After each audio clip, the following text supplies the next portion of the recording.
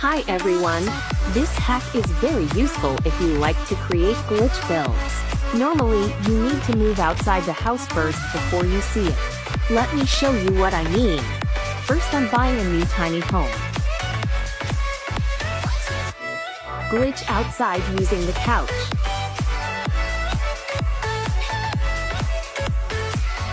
Place a large cube on top of the house and make it as big as possible. Slide it down until you can see the roof of your house again.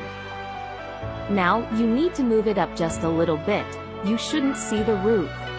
Perfect! Let's see what happens if you enter the house again. It works! Now you can start building.